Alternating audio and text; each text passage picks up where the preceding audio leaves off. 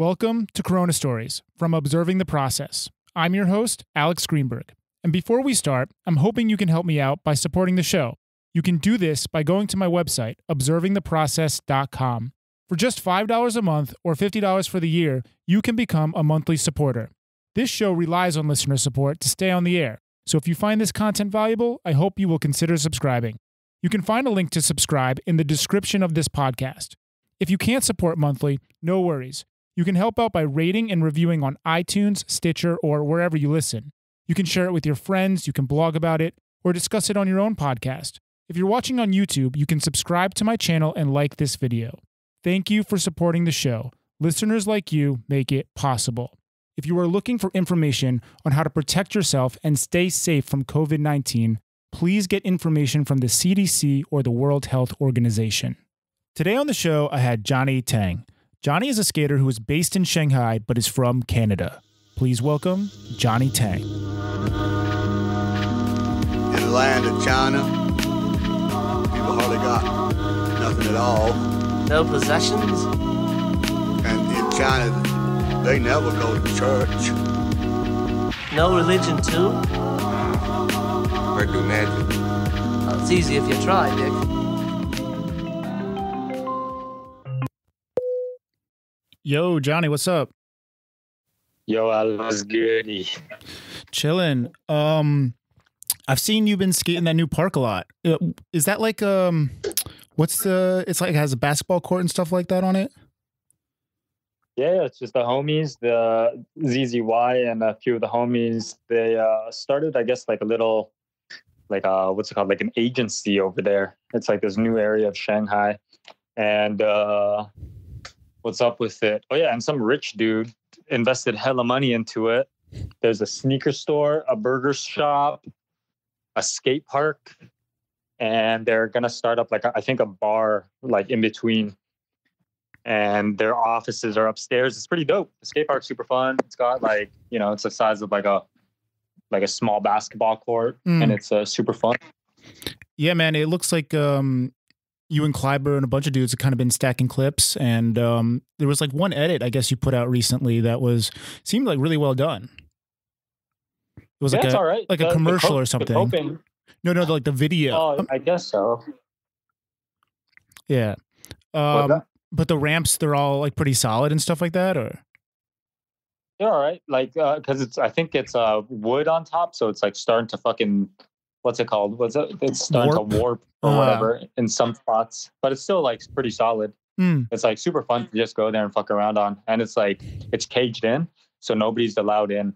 Uh, oh so that right, keeps the corona out. Yeah. keeps the corona out. Okay.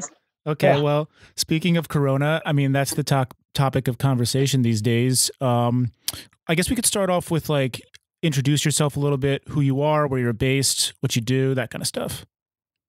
All right. Uh, my name is Johnny, Johnny Tang.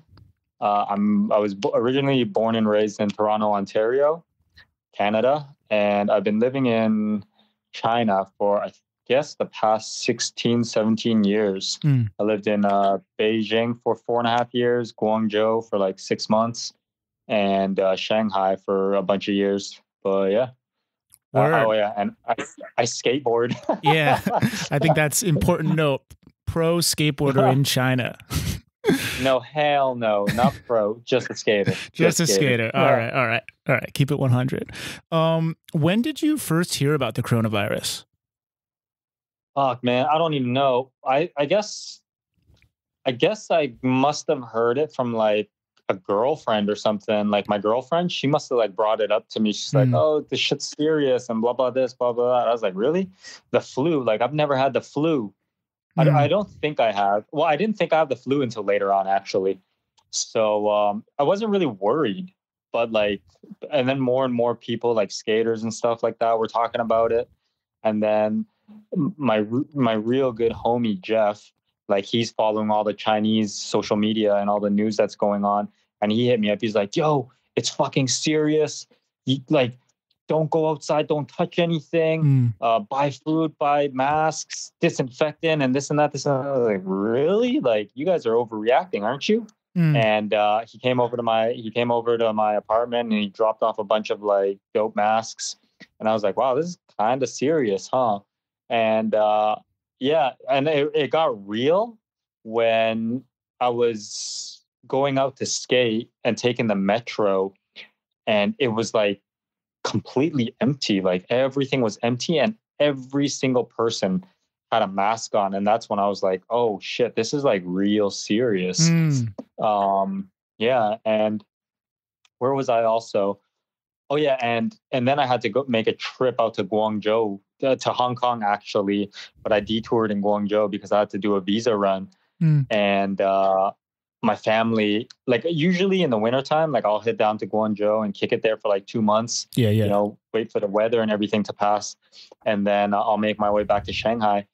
And then, so I made a visa a visa run to Hong Kong real quick. Came back the next day to Guangzhou, and my family was like, "Oh, we really don't you like you shouldn't go out because it's um it's not safe, you, know." And I was kind of thinking like, yeah, that'd be a dick move, yeah. like really selfish of me if I started just going out whenever I wanted to, and then coming home and my grandma was there as well. So I don't want to bring some bullshit back to the family Mm. and then I was like, oh man, this kind of this is kind of sucky. Like, I, I think I'm just gonna go back to Shanghai if if I'm gonna like quarantine or whatever. If I'm gonna if I'm gonna be bored, like I might as well just be bored at home. Mm.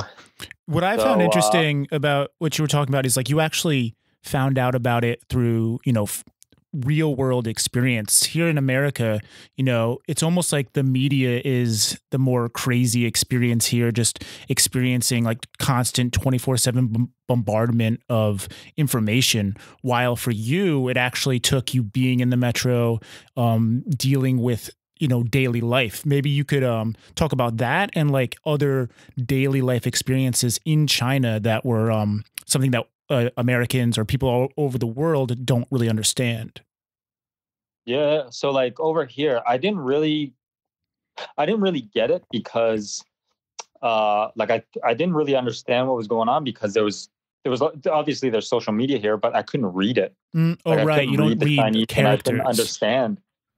So I I was like I wasn't freaking out. Mm, Uh, it wasn't until like yeah, just taking the metro, not seeing anybody, and pe- people telling me not to take the metro because that's like you know there's no airflow. Uh, there's going to be a lot of people uh, taking it, and s- at- there, uh, uh, there was like a few. I would say like ninety five percent of the people were wearing face masks, but then there was like another five percent that w- weren't wearing face masks just because I th- like, and those were old people too, because those old people just don't give a fuck. like they, like they, they honestly like they don't care. Like they don't know what's going on. They don't they don't fuck with social media, right? But every you know young person like fifties and under, anybody who knows how to like use a cell phone, they all had their masks on. mm. So, um, anyways, it was during the Chinese New Year's as well. So oh this like, is important everything was- yeah chinese new year was yeah, a big so part of it was yeah, yeah, yeah. like uh, the the city was already pretty empty, but usually during the Chinese New Year's here, it's like you know hustle and bustle. Like people are enjoying their free time, so you would see people at the malls. Uh, normally, you would see people like um, what what's it called, like window shopping and stuff like that. yeah But during this time, it was just completely dead. It like the street. I was kind of worried, like, oh shit, like I didn't, I didn't stock up on anything. I- I'm kind of, I'm kind of, like, I'm kind of fucked if if nothing's open Mm, and if how if how serious things were gonna be over here. But um, avocado lady, which is just down the street, she was open the entire time. Wow. And the craziest thing was, yeah, there, so there's a lot of foreigners going in and out of people, and also a lot of like Chinese locals because there wasn't many stores that was open, and she was pretty much the only one that was open. And man, them motherfuckers didn't even wear no face mask. they were like exposed. avocado lady like for people who don't know avocado lady is um um mostly a foreigner expat store where a lot of um like import goods are sold and this lady avocado lady i she wasn't wearing masks no, none of the staff in there were wearing Wow. masks. just but braving everybody it going in, yeah, everybody going in was kind of wearing masks, I guess. But uh, yeah, she, they, I, and they were like making fun of it. Actually, I was Mm. like, "Yo, y'all like y'all brave. And he's like, hey, like I'm not afraid of anything. This this virus is nothing to me, and blah blah blah. And I'm Huh. like, bro, like I just don't cough on me. Jeez. You know what else got me thinking? Um, so I don't I don't think you were there during SARS, but do you have do you remember when that was going on? I well, I remember when I was younger, like I, I remember hearing about it, but I don't think it. Like I'm pretty sure, like in Toronto, it was it was uh, really serious. Hmm. But uh, I mean, I just took that opportunity to go skating with my friends. There was like nobody was. There was no security. There was nothing. The streets were completely empty. Hmm. I think um I think the metro and buses were still running. Like public transportation was still running. So me and the homies, or the homies and I, we would just go skating all the time, and that was dope. And you're talking about in Canada. Yeah, yeah, yeah. I Right. wasn't. Uh, that was like 2002, so I didn't come here, I guess, until 2003 or four. Yeah, it was Right. pretty mellow. Because I guess you got Toronto, here right after it happened, and you're you're you're getting me thinking about. It'd be really interesting to talk to someone who went through SARS and this, just to kind of compare. Because I know it was something similar, like in China, people, you know, everyone wearing face masks and, um, you know, just like uncertainty in the air. People just scared, man. Just Mm, like people here are just hella scared. Like Chinese people are are they aren't they're not like rebellious or whatever. What I've noticed, come like if if if I was in Canada or in the US and comparing it to being in Shanghai, it's that when this thing happened, people were obedient. Like Mm. I, I don't mean obedient as in like whatever, whatever, but they were like everybody worked as everybody in this city worked as a team and like, okay, we're all quarantining and we're all gonna wear face masks and we're all gonna, I guess, like hygiene. Or I, I guess I wouldn't say all, but like you know, during the Chinese New Year's, there was a lot of people gone. But like all the Shanghai people that were, or everybody that was still in Shanghai, like they were pretty serious about it, and mm, nobody was taking those risks, being like, oh, this isn't gonna affect me. This is a joke. Like, but I feel like in North America, like there's a lot of people that would do that mm. just Ye- because they're a little bit more rebellious. Um, you know, they're they're you know Yeah, I- this is um this is something that you actually inspired for all of my guests. I'm going to be asking um because we talked about this before a little bit, and it, the basic question is like how different cultures are handling this pandemic. So you you kind of already touched on it, and basically how like for example you're in a unique situation where you understand the the Chinese culture because you've been there for so long, and you understand North American culture like you're from Canada and have experience in the states.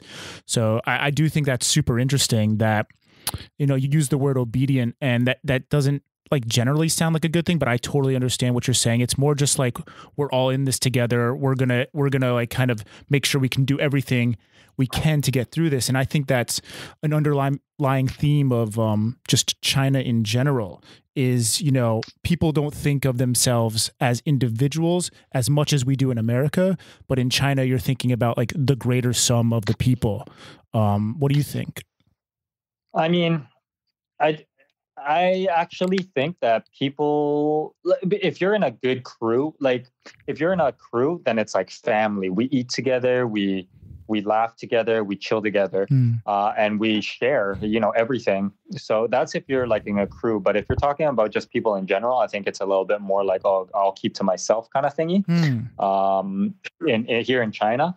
But during this whole pandemic or whatever, uh, I really got the sense like, oh, everybody's like, you know, on point with this one. Everybody just wanted this to end right and uh, be safe, and um, yeah, it's yeah, like this one. th- th- uh, I definitely saw like a different part of, uh, you know, people when Mm. during this whole during this whole thing. Uh, one thing I have to ask you about, you may not have the the best answer because I know you don't read um, characters, but Li Wenliang. Do you remember him being in the news much? Yeah, he's like the whisperer guy, right? The the guy who like kind of uh dude, my English is so shit living here, man. I need to like I need to like go to go back to school or some shit. Fuck.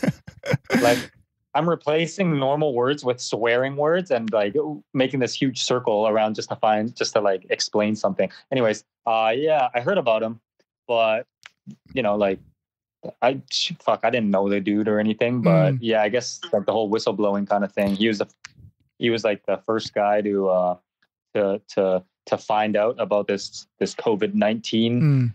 thing, and then yeah, nobody took him serious, especially the authorities, Yeah. and yeah, they kind of fucked up on that one. Yeah. Yeah. the craziest thing was I heard there was like in Wuhan, so the, the outbreak and everything was already ha- like Li Wenliang find out, found out about the outbreak Mm. or found out about this new flu influenza whatever. And then he kind of reported it. They were like man like don't spread rumors blah blah blah. And then they had this huge like more than 10,000 people uh like dinner gathering which kind of blew my mind. It was Hmm. like a it was like a um what is it called? It was like uh, a Chinese New Year's celebration dinner kind of thing, Mm. but with like the citizens, and I think that kind of fucked up. like, yeah, I didn't know. man, I didn't hear about that. Really fucked up. that sounds wild. Yeah, Yeah. yeah. I heard that. I- well, I heard that from like the locals here, like people just kind of explaining shit to me.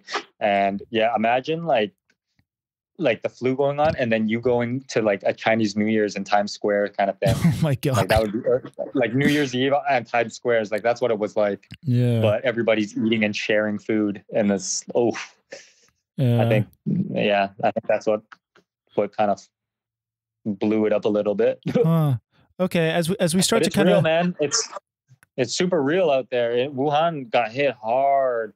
Um, so my girl, she has a bunch of coworkers that are from Wuhan. So Oh, they really? all like they work in Shanghai, but they all went back. They all went back to Wuhan for Chinese New Year's. And my girlfriend's like super. wor- I, I've seen her like three times since like in like three months because she's so paranoid about this shit. Because she lives with her parents, Mm. so she doesn't want to bring anything home to them. But um, uh, she was telling me like, "Oh, you should really take this serious," and blah blah. I'm like, "Oh, whatever." You know, I wash my hands. I've never had the flu before. Um, uh, I'm not being an idiot, but like, yeah, I, I do go out and skate every day, um, which is kind of dumb.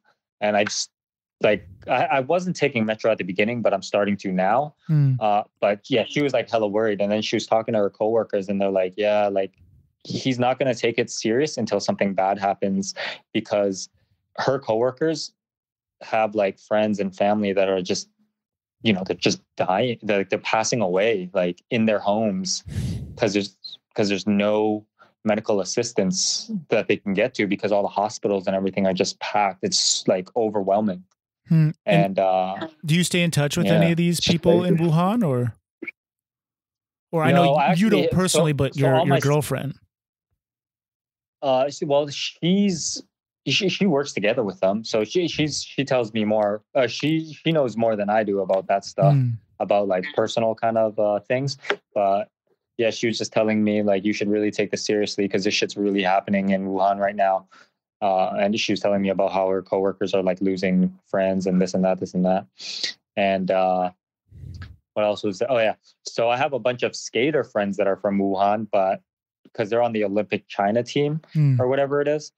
And they were at like they were in Thailand during this whole ordeal and they couldn't even go back to to Wuhan because like all all the shit that was happening. So they ended up staying there for like two, three months. That's kind of dope. Get to That's ride out dope. this whole thing in, Super in dope. like tropical Thailand. Yeah, but I don't know. Like even slowly, Asia kind of got like gnarlier and gnarlier. People started getting it in Thailand and this and that. So when they came back, they had to quarantine themselves in. Uh, actually, he didn't even go back to Wuhan. He went down. He went to the south Mm. to the Hainan Island, and he had to get quarantined just because you know he was coming from overseas or whatever. Yeah, it's funny how the the script has been flipped now. Like everyone going into China is being quarantined because they're actually one of the better places in the world currently as of what is this like March 20 22nd right now we're talking or 23rd. Um Yeah. pretty interesting how that's happening like you know, I I know Ben I mean, is quarantined right now in Chengdu. oh yeah. Yeah. they're like dude china moved quick when when shit started really popping and you know all this shit was really really going down when pe- more and more people were understanding what was happening boom like shanghai places shut down Mm. um shopping malls had uh what's it called like uh heat, heat sensors i guess what they are so it's like you walk into the mall, there's a TV that shows your temperature. Because if you're the metro, everywhere, everywhere has has people checking your temperature. So if you're a little bit over, then it's like boom, you're like you're you going in the paddy wagon and you being Wow. taken to some quarantine. Yeah, dude, it's gnarly. That's so Because I, I was going in the metro. Yeah, I was going in the metro. I'm like, oh, so like I asked the security guy, I'm like, uh, what happens if, you know, like if I'm over the normal temperature or whatever? And he's like, oh, you just wait here for a car to come pick you up. I was like, damn, Oh like that would suck. Every time I kind of take it, you know, you know, when you're skating and then you're kind of like hot or whatever, you're sweaty, and then you kind of jump Oh. on the metro, you're like, ugh. Like that would kind of suck if you got like a wrong reading or whatever. Yeah. I wonder how many times that's happened. Or just like, you know, some people generally like have an average higher or an average lower temperature. You know, not everyone is the same, but I, I guess they would take that into account. Yeah, but yeah, the entire city was pretty on point. Um, I, I hear the city's kind of starting to come back to life. Um, how long was it, and what was more of the experience? Like you, like you mentioned, the the malls are closed. You know, restaurants were closed. I, I'm going to be talking to Camden soon, and you know, she owns multiple restaurants, so definitely interested to hear her ooh, that perspective. Yeah, because they were just fully closed. Like you weren't allowed to do anything, like maybe takeout. But what was your experience like? Were you doing more shopping? You're, you know, I know you're spending more time at home, but um, yeah, just a little bit more about the city and like a little bit after Chinese New Year when it was like supposed to get started back up. I'm just curious about that. So, restaurants, a, a lot of a lot of local Chinese restaurants are still closed, um, and like oh, a lot of Western. Okay, so let me uh, let me bring this back. I'm like all mixed up right now. So, boom, when this shit happened, everything was closed except Mhm. for Avocado Lady. yeah. So it was like it was literally like a month and a little bit of just straight cooking. It was just like nothing. You're just cooking at home. what about grocery stores? Avocado Lady. That's it. There- like it. City Super was not open. Nothing. None of that.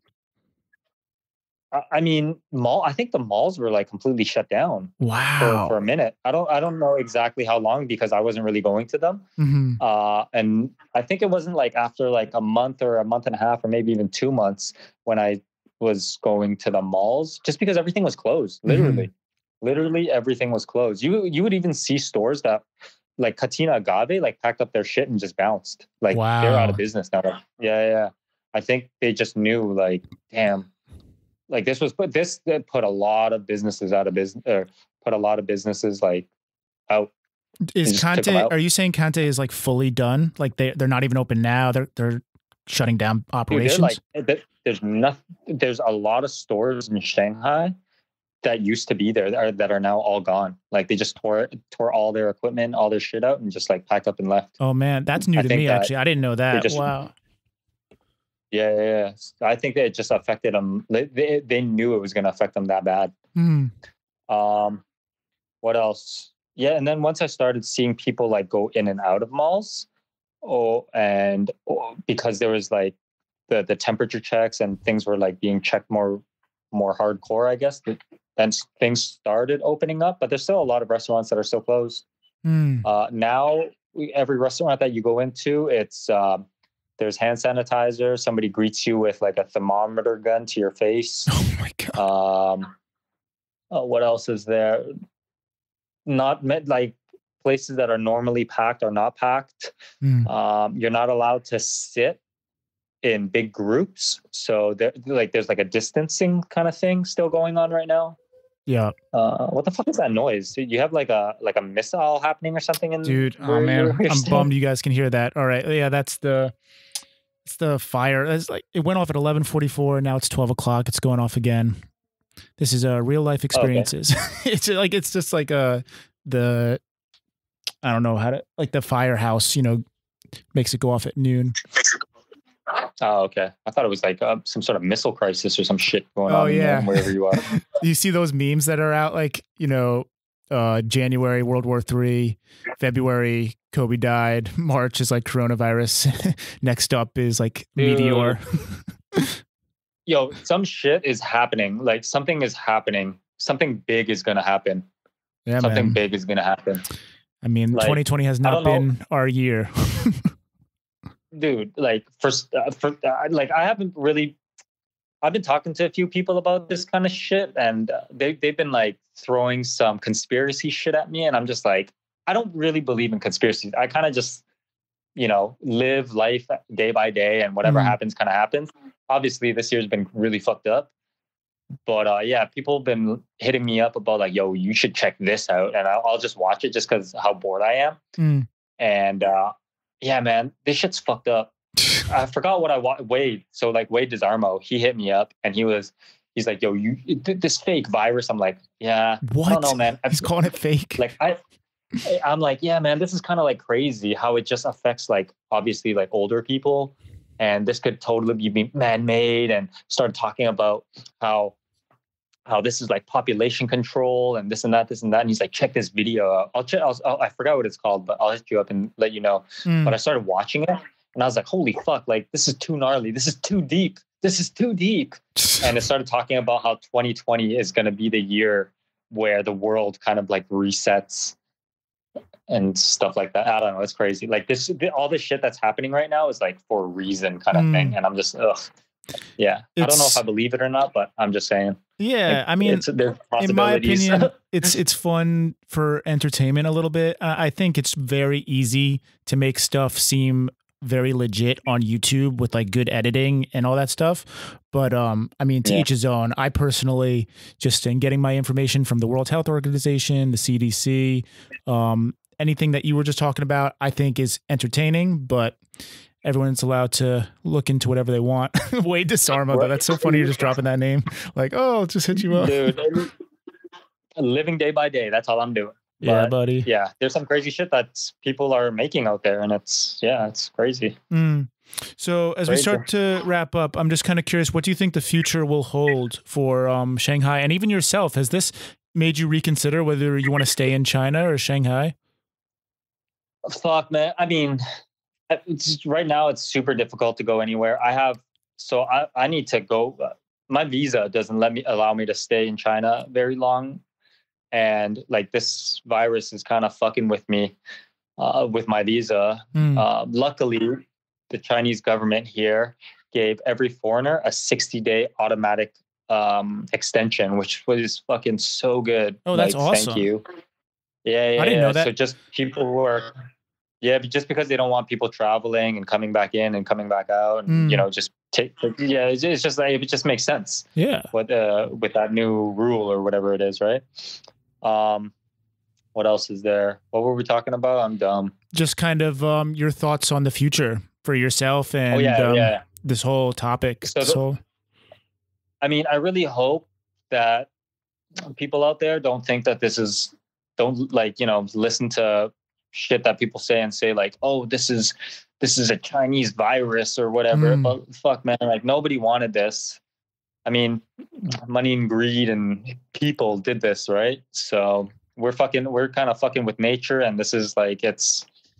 This is it's what it's returning to us you Mm. know and it, unfortunately it happened here in china um, but i hope that the world doesn't think that this is a a chinese thing. And uh, hopefully like you know i've been hearing a lot of things back home where uh, people are kind of being a little bit more racist towards asians in general but i don't know man. Fuck. Like i hope that does i hope this kind of shit doesn't affect like we're all in this together and uh the shit's real. And uh yeah i hope everybody has like good health and nobody gets this shit because it sucks. I don't know anybody personally but i hope nobody gets it. And uh really just just wash your hands. Um don't go out and party. Don't be a dick. The shit is real. Mm. and uh yeah and just be very be thoughtful of others. Um i mean if you guys can wear a mask uh definitely wear a mask when you go out because that'll help a lot. I think that's how china kind of put it under control a lot is because everybody has their masks on Right. Were you Um, getting government issued masks? Did that happen? Or like, how did you get masks? man i've just been fucking reusing masks Yeah. So I, at first I was kind of I was like, damn, I have I have like five masks. How is this gonna work? And then uh so heat actually kills the virus. So I have an external heater Hmm. and I just put my masks on top of that after using them after like the day or whatever. I'll spray them, spray them down with like a little bit of alcohol, hmm and then I'll put them on the heater, and then boom, it's like fresh. Yeah. Hmm. It's like super fresh. Right on. But And yeah, and the the stuff you were talking about about um you know racism back home i think that's pretty interesting like you do you talk to your brother who's been in, in canada is that right or yeah, just like shit that I've been seeing on the news, and my little brother and Morgan, like Morgan Smith, hit me up. He's like, "Yeah, man, like people aren't eating at Chinese restaurants anymore, and like I've heard people be, like getting uh, racially slurred at on the metro and stuff." Mm. I'm just like, "What? That's fucking lame. That's so lame." yeah yeah that's lame. um I mean, it's uh, it sucks. It sucks. Yeah man. Uh, the only thing we could do is take it day by day. Uh johnny i want to thank you so much for taking the time to talk to me. We, we've gone 29 minutes. Really good talk. Um i i hope i get back to shanghai soon. I'm hoping to get back there in mid-april to end of april kind of like just see homies see the friends you know? I think it's, it's we're getting there. It's getting better day by day Yeah, no, it's the safest here, I guess. Like it, it feels like it's back to normal here for sure. I don't know how it is back in uh, back in North America, but I know they definitely reacted a little bit slower to to what was happening over here. But um, hope every hope this hope hope the best for everybody. folks. sweet johnny thanks so much Hell yeah. Oh yeah. Hope everybody uh, learned something from this fucking interview. all right tip or man two. All right take care buddy All right, dog. Talk soon. Easy. Boom, that's it.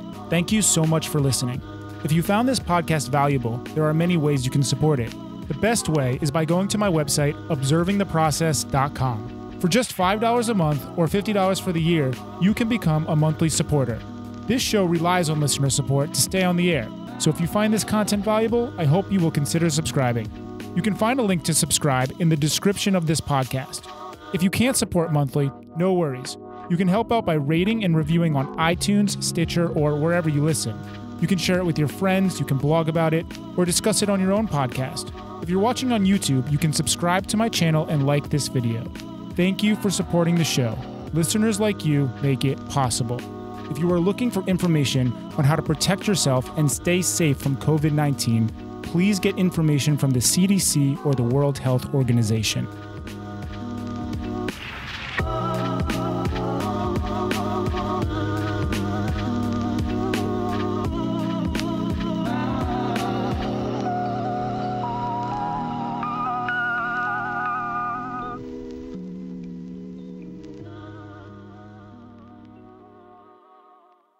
Also, if you enjoyed the intro and outro music, it was made by my brother, Danny Greenberg. You can go and check out his beats on Apple Music, Spotify, YouTube, or SoundCloud.